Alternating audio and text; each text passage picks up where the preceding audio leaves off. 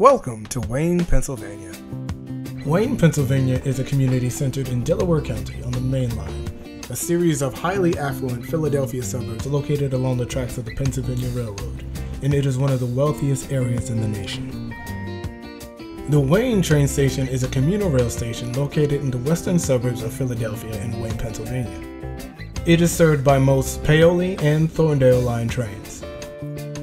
Christopher's Restaurant is a neighborhood restaurant and bar serving a new American menu for a family friendly atmosphere. Gryphon Coffee is a down to earth coffee house with organic and gluten free lunch options and occasional live music.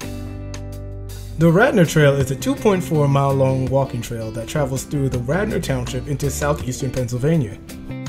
The Wayne Hotel is winner of the 2019 Best of Mainline Media News Choice Award. This landmark mainline hotel is on the National Register of Historic Places. The Wayne Movie Theater is a family friendly, wheelchair accessible local movie theater screening the latest films.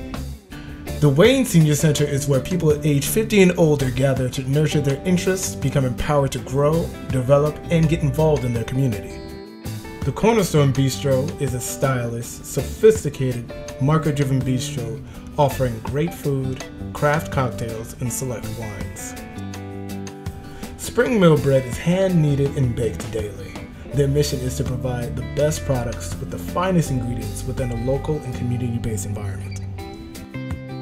If you're currently looking into this area as a new place to call home, please feel free to visit our website at www.brettfurman.com.